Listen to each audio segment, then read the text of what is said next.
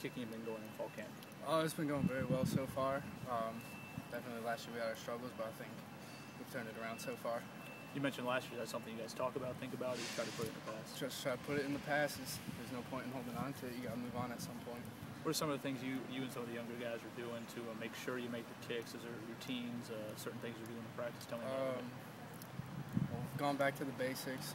Gone back to the start kicking. Um, we all have key points that we in our head. We have like three things that we write that we wrote down at the beginning of the season. Before we go out there, we try to remember those, and hopefully that gets us successful. Coach mentioned having a short memory, kind of forgetting the kicks that you miss. How important is that uh, for a kicker? Oh, it's very important because you can't, you can never get too high and you can never get too low. You just, if you miss, you gotta go out and make the next one. That's all I got.